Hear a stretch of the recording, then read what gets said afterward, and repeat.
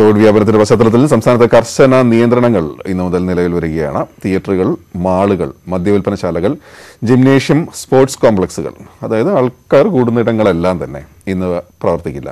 വിവാഹ ചടങ്ങുകളിലും ആരാധനാലയങ്ങളിലും അൻപത് പേർ മാത്രമേ അനുവദിക്കൂ. ഇത് അന്ന് ഡോക്ടർമാർ പറഞ്ഞ പോലെ അൻപത് പേർ എന്നുള്ളത് പരിധിയാണ്. അൻപതിൽ കൂടിയാൽ നിയമ നടപടി അമ്പതിൽ കുറയ്ക്കാൻ പരമാവധി ഓരോരുത്തരും ശ്രദ്ധിക്കുക. അതാണ് ആരോഗ്യ വിദഗ്ധർ പറയുന്നത്. അൻപത് എന്ന കണക്ക് ഒരു കണക്കായി വെച്ചു അതിന് മുകളിൽ പോയാൽ നിയമ നടപടി ഉണ്ടാവുന്നേ ഉള്ളൂ. പക്ഷേ അതിന് താഴെ എത്രത്തോളം കുറയ്ക്കാൻ പറ്റുമോ അത് ഓരോരുത്തരും ശ്രദ്ധിക്കുക എന്നുള്ളതാണ് ആരോഗ്യ വിദഗ്ധർ പറയുന്നത്. രോഗവ്യാപനമുള്ള സ്ഥലങ്ങളിൽ രണ്ട് മാസ്ക് ധരിക്കണം എന്നതാണ് നിർദ്ദേശം. ശനി ഞായർ ദിവസങ്ങളിലെ ലോക്ക്ഡൌണിന് സമാനമായ നിയന്ത്രണങ്ങൾ തുടരും. ശരണാണ് തിരുവനന്തപുരത്ത് നിന്ന് കൊച്ചിയിൽ നിന്ന് ഡാനിപ്പോളും കോഴിക്കോട് നിന്ന് സനോജ് സുരേന്ദ്രനും ചേരും. ആദ്യം ശരണിലേക്കാണ് പോകുന്നത്. ശരൺ ഇന്നലെ വാർത്താ സമ്മേളനം നടത്തി മുഖ്യമന്ത്രി പറഞ്ഞ കാര്യങ്ങളിൽ നിന്ന് തന്നെ നമുക്ക് മനസ്സിലാവും. സംസ്ഥാനത്തെ സ്ഥിതി ഗുരുതരമാണ് എന്ന്. ഏതായാലും കടുത്ത നിയന്ത്രണങ്ങളിലേക്ക് ഇന്നു മുതൽ സംസ്ഥാനം പോവുകയാണ്. ശനി ഞായർ ദിവസങ്ങളിലെ ഏതായാലും സെമി ലോക്ക്ഡൗൺ എന്ന് പറയുന്നത് പോലെ തന്നെ കടകമ്പോളങ്ങൾ തുറന്നു പ്രവർത്തിക്കുകയും പൊതുഗതാഗതം വാഹന ഗതാഗതവും ഒക്കെ തടസ്സമില്ലാതെ നീങ്ങുമെങ്കിലും ഈ പറഞ്ഞ പോലെ ആൾ കൂടാൻ സാധ്യതയുള്ള സകല സ്ഥലങ്ങളിലും വലിയ നിയന്ത്രണങ്ങൾ വരികയാണ്. എന്താണ് വിശദാംശങ്ങൾ?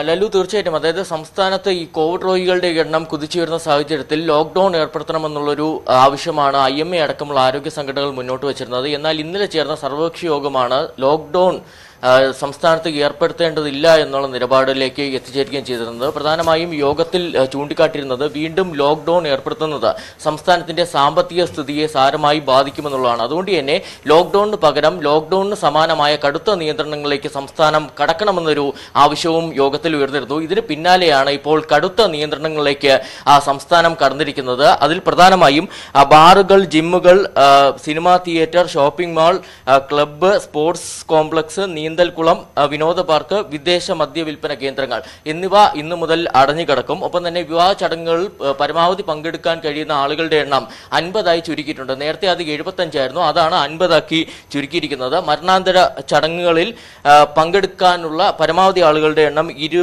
ഇരുപതായി ചുരുക്കിയിട്ടുണ്ട്. നേരത്തെ ഇരുപത്തഞ്ചായിരുന്നതാണ് ഇരുപതായി ചുരുക്കിയിരിക്കുന്നത്. ഒപ്പം തന്നെ ആരാധനാലയങ്ങളിലും കടുത്ത നിയന്ത്രണങ്ങളാണ് ഏർപ്പെടുത്തിയിരിക്കുന്നത്. നേരത്തെ നോമ്പ് കാലമായതിനാൽ തന്നെ ആരാധനാലയങ്ങളിൽ കടുത്ത നിയന്ത്രണങ്ങൾ വേണ്ട എന്ന ഒരു നിലപാടാണ് സർക്കാർ സ്വീകരിച്ചതെങ്കിൽ പിന്നീട് ഈ ആരാധനാലയങ്ങളിലും കടുത്ത നിയന്ത്രണങ്ങൾ കൊണ്ടുവന്നിരിക്കുകയാണ്. അതായത് ഒരു സമയം പള്ളിയിൽ പ്രവേശിക്കാൻ കഴിയുന്ന ആളുകളുടെ എണ്ണം അൻപതായി പരിമിതപ്പെടുത്തിയിട്ടുണ്ട്. ഒപ്പം തന്നെ ചെറിയ പള്ളികളാണെന്നുണ്ടെങ്കിൽ ഈ അൻപത് എന്നുള്ള ഫിഗർ അത് കുറയ്ക്കണമെന്നുള്ള ആവശ്യവും സർക്കാരിന്റെ ഭാഗത്തു നിന്ന് ഉണ്ടാവുകയും ചെയ്തിട്ടുണ്ട്. ഇതോടൊപ്പം തന്നെയാണ് ഈ സർക്കാർ സർക്കാരിന്റെയും സ്വകാര്യ മേഖലയിലെയും എല്ലാ യോഗങ്ങളും ഓൺലൈനായി മാത്രമേ നടത്താൻ പാടുള്ളൂ എന്നുള്ള നിർദ്ദേശം സർക്കാരിന്റെ ഭാഗത്തു നിന്ന് ഉണ്ടായിരിക്കുന്നത്. മറ്റൊരു പ്രധാനപ്പെട്ട കാര്യം നമുക്കറിയാം.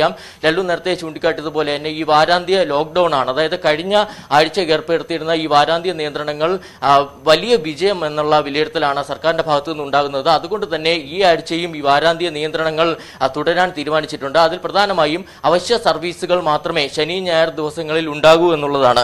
മറ്റൊരു പ്രധാനപ്പെട്ട കാര്യം ഈ സർക്കാർ അർദ്ധ സർക്കാർ സ്ഥാപനങ്ങൾ സ്ഥാപനങ്ങൾക്ക് ശനിയാഴ്ച അവധി പ്രഖ്യാപിച്ചിരുന്നു. അത് ഈ ആഴ്ച തുടരുകയും ചെയ്യും. ഒപ്പം തന്നെ ഈ കടകളും മറ്റ് നിയന്ത്രണങ്ങൾ അതായത് എല്ലാ ദിവസവും കടകൾ വൈകിട്ട് രാത്രി ഏഴരയ്ക്ക് തന്നെ അടയ്ക്കണമെന്നുള്ള നിയന്ത്രണമുണ്ട്. അത് അങ്ങനെ തന്നെ തുടരാനാണ് സർക്കാർ തീരുമാനിച്ചിരിക്കുന്നത്. ഒപ്പം തന്നെ ഹോട്ടലുകളിൽ നിന്നും പാർസൽ ലഭിക്കുന്ന സമയം അത് ഒൻപത് വരെയായിരുന്നു നേരത്തെ. അതും തുടരാൻ അതേപടി തുടരാൻ സർക്കാർ തീരുമാനിച്ചിട്ടുണ്ട്. തീർച്ചയായും. ഒരു കാര്യം കൂടിയുള്ളത് മുഖ്യമന്ത്രി പറഞ്ഞ പോലെ തന്നെ അതിതീവ്ര വ്യാപന സ്വഭാവമുള്ള വൈറസുകളാണ്.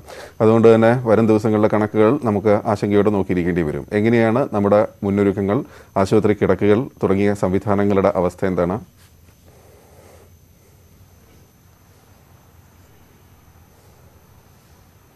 ഗോപി തീർച്ചയായിട്ടും. അതായത് വരും ദിവസങ്ങളിലും കോവിഡ് രോഗികളുടെ എണ്ണം വലിയ തോതിൽ കുതിച്ചുയരുമെന്ന് തന്നെയാണ് സർക്കാർ കണക്ക് കൂട്ടുന്നത് അത്തരത്തിൽ ഈ അവലോകന യോഗമെല്ലാം കഴിയുമ്പോഴും സർക്കാർ വൃത്തങ്ങൾ വ്യക്തമാക്കുന്നതും അത് തന്നെയാണ്. കഴിഞ്ഞ ദിവസം അതായത് ഇന്നലെ പുറത്തു വന്ന കണക്കുകൾ അത് കൃത്യമായി മുഖ്യമന്ത്രിയുടെ വാക്കുകളിൽ പ്രകടമായിരുന്നു. ഇന്നലെ ഇരുപത്തിയൊന്നായിരത്തിലധികം കേസുകൾ റിപ്പോർട്ട് ചെയ്യുമ്പോൾ പോലും അത് ശുഭസൂചനയല്ല. മറിച്ച് പരിശോധനകൾ കുറഞ്ഞതുകൊണ്ടാണ് ഇത്തരത്തിൽ കേസുകൾ കുറഞ്ഞതെന്നുള്ള കാര്യം മുഖ്യമന്ത്രി വ്യക്തമാക്കുകയും ചെയ്തിരുന്നു. അതായത് വരും ദിവസങ്ങളിലും കേസുകൾ ഇത്തരത്തിൽ ഉയരാൻ തുടരാൻ സാധ്യതയുണ്ട്. അതുകൊണ്ട് തന്നെ വലിയ രീതിയിലുള്ള സജ്ജീകരണങ്ങളാണ് സംസ്ഥാനത്ത് ഒരുക്കുന്നത്. നേരത്തെ തന്നെ സർക്കാർ ഈ സ്വകാര്യ ആശുപത്രികളുടെ പ്രതിനിധികളുമായി ചർച്ച നടത്തിയിരുന്നു. സർക്കാർ മേഖലയിൽ മാത്രമല്ല സ്വകാര്യ മേഖലയിലും കൂടി കൂടുതൽ സജ്ജീകരണങ്ങൾ ഏർപ്പെടുത്തിക്കൊണ്ടുള്ള ഒരുക്കങ്ങളാണ് ഇപ്പോൾ സർക്കാരിന്റെ ഭാഗത്തു നിന്ന് പ്രധാനമായും ഉയരുന്നത്. പ്രധാനമായും നേരത്തെ തന്നെ ഈ സ്വകാര്യ ആശുപത്രികളിൽ ഇരുപത്തഞ്ച് ശതമാനം കിടക്കകൾ കോവിഡ് രോഗികൾക്കായി മാറ്റിവെക്കണമെന്നുള്ള നിർദ്ദേശം സർക്കാരിന്റെ ഭാഗത്തു നിന്ന് ഉണ്ടായിരുന്നു. ഇതോടൊപ്പം തന്നെ മറ്റ് പ്രധാനപ്പെട്ട നിർദ്ദേശങ്ങൾ ഈ സ്വകാര്യ ആശുപത്രികൾക്ക് നൽകുകയും ചെയ്തിരുന്നു. അങ്ങനെ ഏതൊക്കെ രീതിയിലുള്ള മുന്നൊരുക്കങ്ങൾ നടത്താൻ കഴിയുമോ ആ രീതിയിലുള്ള മുന്നൊരുക്കങ്ങളുമായി ആരോഗ്യവകുപ്പും സർക്കാരും മുന്നോട്ട് പോവുകയാണ്.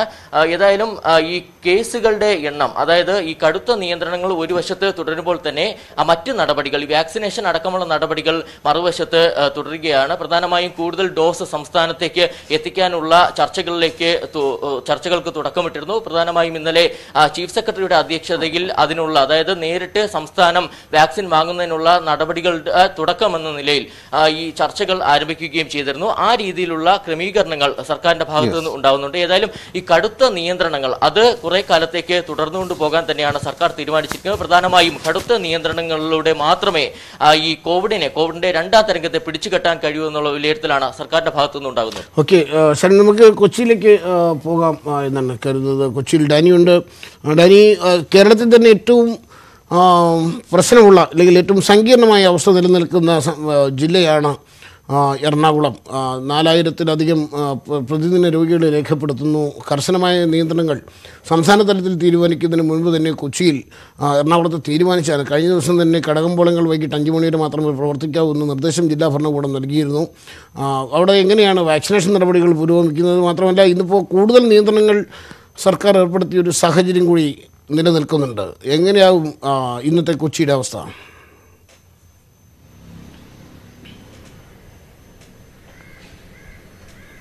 ലല്ലു ഇക്കാര്യത്തിൽ കഴിഞ്ഞ ദിവസങ്ങളിൽ എറണാകുളം ജില്ലയ്ക്ക് മാത്രമായി പ്രത്യേകമായി നിയന്ത്രണങ്ങൾ ഏർപ്പെടുത്തി ഏർപ്പെടുത്തിയിരുന്നു. വൈകിട്ട് അഞ്ചര വരെ മാത്രമേ കടകൾ തുറന്നിരിക്കാൻ പാടുള്ളൂ എന്നതടക്കമുള്ള കാര്യങ്ങൾ നിർദ്ദേശങ്ങൾ നൽകിയിരുന്നു. അത് ഇന്നലെ വരെ ആയിരുന്നു ഇന്നലെ ആണ് അതിന്റെ ഒരു കാലാവധി എന്ന് പറയാൻ കഴിയില്ല.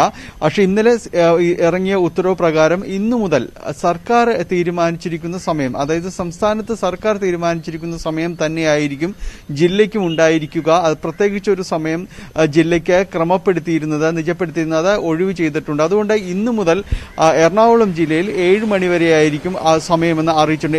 ഏഴര വരെ ഏഴര വരെയായിരിക്കും സമയമെന്നുള്ളത് അറിയിച്ചിട്ടുണ്ട്. കഴിഞ്ഞ ദിവസങ്ങളിൽ നേരത്തെ നാലായിരത്തി അഞ്ഞൂറിലധികം കോവിഡ് കേസുകൾ ഉയർന്ന സാഹചര്യത്തിലാണ് അടിയന്തരമായി ജില്ലാ ഭരണകൂടം ഇടപെട്ടുകൊണ്ട് അഞ്ച് വരെ സമയക്രമം ഏർപ്പെടുത്തിയത്. ഇത് ഒരു ആശയക്കുഴപ്പത്തിനും വഴിവെച്ചിരുന്നു. കാരണം സംസ്ഥാനത്ത് ഒരു സമയം പറയുമ്പോൾ ജില്ലയിലേക്ക് മറ്റൊരു സമയം പറയുന്നു അങ്ങനെ പല രീതിയിലൊരു ആശയക്കുഴപ്പത്തിന് വഴിവെച്ചിരുന്നു. ഇതെല്ലാം ഏകീകരിച്ചുകൊണ്ടാണ് ഇപ്പോൾ ഏഴര എന്നുള്ള രീതിയിലേക്ക് സംസ്ഥാന സർക്കാർ നിശ്ചയിച്ച ഒരു സമയത്തിലേക്ക് തന്നെ മാറ്റിയിരിക്കുന്നത്. ഇന്നു മുതൽ ഈ സമയത്ത് കടകൾ അടച്ചാൽ മതി പക്ഷേ കടകൾ ഈ സമയത്ത് നിർബന്ധമായും അടച്ചിരിക്കണം എന്ന് പറഞ്ഞിട്ടുണ്ട് കാരണം കൊച്ചിയിൽ ഒരു സാഹചര്യത്തിൽ പലപ്പോഴും ഈ സമയത്തേക്ക് ആളുകൾ കൂടുതലായി എത്തുകയും സമയം നീണ്ടുപോവുകയും നീട്ടിക്കൊടുക്കുകയും ചില ഇളവുകൾ നൽകുന്ന ഉണ്ടായിരുന്നു.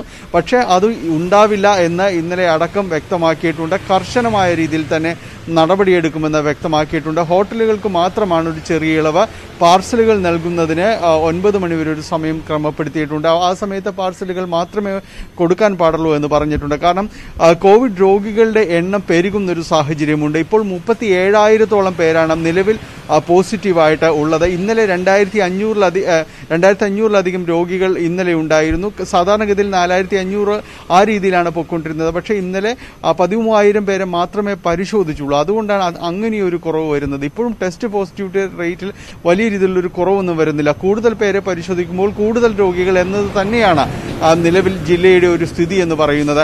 അതോടൊപ്പം തന്നെ വാക്സിനേഷന്റെ കാര്യത്തിൽ വലിയ രീതിയിലുള്ള ആശങ്കകൾ ഉയരുന്നുണ്ട്. കാരണം ഇന്ന് പതിനായിരം ഡോസ് വാക്സിൻ മാത്രമാണ് ഉള്ളത്. ഇന്നലെയും അത്രയും മാത്രമായിരുന്നു. ഇന്നലെ അറുപത്തിരണ്ട് കേന്ദ്രങ്ങളായിരുന്നു വിതരണം നടത്തിയിരുന്നത്. ഇന്നും ഏതാണ്ട് അതിൽ താഴെ മാത്രമേ വിതരണം നടക്കാൻ സാധ്യതയുള്ളൂ. നാളെ വിതരണം ചെയ്യേണ്ട വാക്സിനുകൾ ഇന്നെത്തിയില്ലെങ്കിൽ നാളെ വിതരണം ഉണ്ടാവില്ല എന്ന് തന്നെയാണ് നിലവിലത്തെ സ്ഥിതിയിൽ അറിയാൻ കഴിയുന്നത്.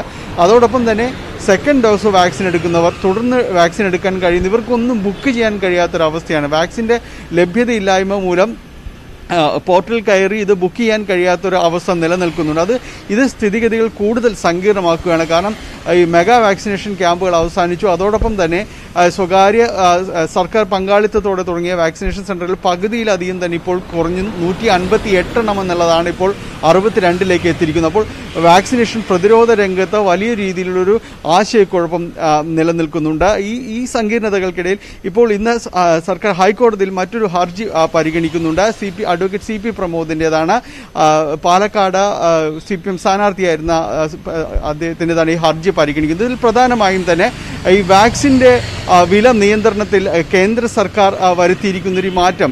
ഇത് വലിയ രീതിയിലൊരു ആശയക്കുഴപ്പത്തിനിടയാക്കുന്നു. നാൽപ്പത്തി അഞ്ച് വയസ്സിലെ താഴെയുള്ളവർക്ക് ഇപ്പോൾ പതിനെട്ട് വയസ്സിന് മുകളിലുള്ളവർക്ക് വാക്സിൻ സൗജന്യമായി നൽകുന്നില്ല എന്നുള്ള നയം ഉൾപ്പെടെയുള്ള കാര്യങ്ങൾ പരിശോധിക്കണം. അതോടൊപ്പം തന്നെ സംസ്ഥാന സർക്കാരുകൾക്ക് വാക്സിൻ നൽകുന്നതിന് കേന്ദ്ര സർക്കാർ ഒരു ഉത്തരവാദിത്വവും കാണിക്കാത്ത രീതിയിലേക്ക് പോകുന്നു. ഇത്തരം കാര്യങ്ങളിൽ ഹൈക്കോ ഈ കാര്യങ്ങൾ ചോദ്യം ചെയ്യപ്പെടേണ്ടതാണ് എന്ന് ചൂണ്ടിക്കാണിച്ചുകൊണ്ടാണ് ഹൈക്കോടതിയിൽ ഹർജി നൽകിയിരിക്കുന്നത്. ആ ഹർജിയും ഇന്ന് പരിഗണിക്കുന്ന സാഹചര്യം കൂടിയുണ്ട്. യെസ് നൽകിയത്. കോഴിക്കോട് നിന്ന് സനോജ് കൂടി ചേരുന്നു സനോജ് ഈ ജനിതക മാറ്റം വന്ന വൈറസുകളുടെ ഭീഷണി നിലവിൽ ഏറ്റവും കൂടുതലുള്ളത് വടക്കൻ ജില്ലകളിലാണ് എന്നാണ് മനസ്സിലാക്കുന്നത്. സ്വാഭാവികമായും അതുകൊണ്ട് തന്നെ വരും ദിവസങ്ങൾ വടക്കൻ ജില്ലകൾക്ക് വളരെ നിർണായകവുമാണ്. എങ്ങനെയാണ് ക്രമീകരണങ്ങൾ വാക്സിനേഷൻ ക്യാമ്പുകളുടെ അവസ്ഥ എന്താണ് നിയന്ത്രണങ്ങൾ എങ്ങനെയാണ്?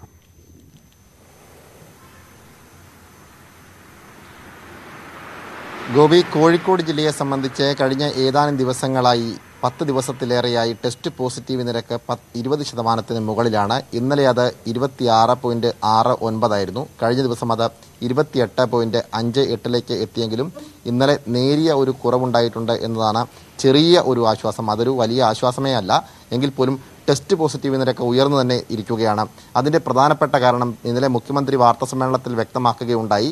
കേരളത്തിൽ ജനിതക മാറ്റം സംഭവിച്ച വൈറസുകൾ കൂടുതലായി റിപ്പോർട്ട് ചെയ്യപ്പെട്ടിട്ടുണ്ട്. അത് പ്രത്യേകിച്ച് വടക്കം ജില്ലകളിലാണ് എന്നും എന്നും അദ്ദേഹം വ്യക്തമാക്കുകയുണ്ടായി. ഇതിനെ സാധൂകരിക്കുന്ന ഒരു നിലപാടാണ് ഇന്നലെ ജില്ലാ ഭരണാധികാരിയായ സാംബശിവറാവുവിന്റെ ഭാഗത്തു നിന്നും ഉണ്ടായത് അദ്ദേഹം ന്യൂസ് സൈറ്റിന് അനുവദിച്ച പ്രത്യേക അഭിമുഖത്തിൽ പറഞ്ഞു ജനിതക മാറ്റം സംഭവിച്ച വൈറസുകൾ ജില്ലയുടെ വിവിധ ഇടങ്ങളിൽ റിപ്പോർട്ട് ചെയ്യപ്പെട്ടിട്ടുണ്ട് കണ്ടെത്തിയിട്ടുണ്ട്. അതുകൊണ്ട് തന്നെയാണ് ഈ രോഗവ്യാപനം അതിതീവ്രമാകുവാനുള്ള കാരണം. അതുകൊണ്ട് തന്നെ വരും ദിവസങ്ങളിലും ശക്തമായ നിയന്ത്രണങ്ങൾ ഉണ്ടാകുമെന്നാണ് അദ്ദേഹം വ്യക്തമാക്കിയിട്ടുള്ളത്. ഒരു ദിവസം അയ്യായിരത്തോളം രോഗികൾ ഉണ്ടാകുമെന്ന കണക്കുകൂട്ടലിലാണ്. അതായത് വരും ദിവസങ്ങളിൽ ടെസ്റ്റ് നിരക്ക് കൂട്ടുമ്പോൾ ഒരു ദിവസം അയ്യായിരത്തോളം രോഗികൾ വരെ റിപ്പോർട്ട് ചെയ്യപ്പെടാനുള്ള സാഹചര്യമുണ്ട് എന്നാണ് ജില്ലാ ഭരണകൂടത്തിന്റെ വിലയിരുത്തൽ. ഇതിന്റെ അടിസ്ഥാനത്തിലുള്ള ഒരു ക്രമീകരണമാണ് ജില്ലയിൽ ഏർപ്പെടുത്തിയിട്ടുള്ളത്. അതുപോലെ തന്നെ അൻപതിനായിരം രോഗികൾ ഗുരുതരാവസ്ഥയിലായാൽ പോലും അവരെ ചികിത്സിക്കുവാൻ വേണ്ടിയുള്ള മതിയായ ക്രമീകരണങ്ങളാണ് ജില്ലയിൽ ഒരു- ഒരുക്കിയിട്ടുള്ളത്. ഇതിന്റെ ഭാഗമായി ഫസ്റ്റ് ലൈൻ ട്രീറ്റ്മെന്റ് സെന്ററുകൾ വിവിധയിടങ്ങളിൽ കൂടുതലായി ആരംഭിച്ചിട്ടുണ്ട്. അതുപോലെ തന്നെ അടിയന്തര സാഹചര്യം നേരിടാൻ ആംബുലൻസുകളുടെ സംവിധാനമാണ് ഒരുക്കിയിട്ടുള്ളത്. ഇതിനായി നാൽപ്പതോളം സ്കൂൾ ബസ്സുകൾ താൽക്കാലിക ആംബുലൻസ് ആക്കുവാൻ വേണ്ടിയുള്ള ക്രമീകരണം ജില്ലയിൽ ഏർപ്പെടുത്തിയിരിക്കുന്നു എന്നുള്ളതാണ് ഏറ്റവും പുതിയ വിവരം.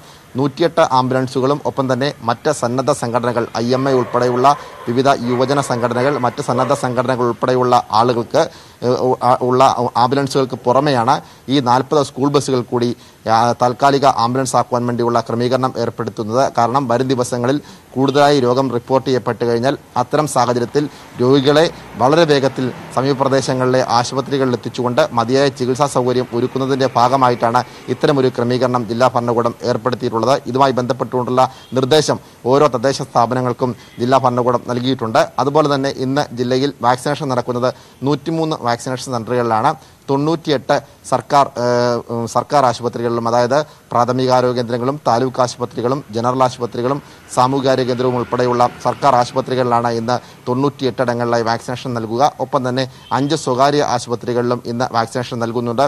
എന്തായാലും ജില്ലയിൽ അതിതീവ്ര രോഗവ്യാപനം ഉണ്ടാകുവാനുള്ള പ്രധാനപ്പെട്ട കാരണം ജനിതക ജനിതകമാറ്റം സംഭവിച്ച വൈറസുകളുടെ വ്യാപനമാണ് എന്ന് വിദഗ്ധർ കണ്ടെത്തിയിട്ടുണ്ട്. അതിന്റെ അടിസ്ഥാനത്തിൽ ശക്തമായ സുരക്ഷാ ക്രമീകരണമാണ് ഏർപ്പെടുത്തിയിട്ടുള്ളത്. ഇതിനുകൊണ്ട് തന്നെ കടുത്ത നിയന്ത്രണങ്ങളിലൂടെ തന്നെയാണ് വരും ദിവസങ്ങളിലും ജില്ല കടന്നു പോകുക. ഗോപി യെസ് സനോജാണ് വളരെ വിശദമായ കാര്യങ്ങൾ പറഞ്ഞത്. ഗോപി മനസ്സിലാക്കാൻ കഴിയുന്നത് കോഴിക്കോടും കൊച്ചിയും ഒക്കെയാണ്. ഈ തെക്കൻ കേരളത്തെ അപേക്ഷിച്ച് വടക്കൻ കേരളത്തിലോട്ടാണ് ഈ പ്രശ്നങ്ങൾ.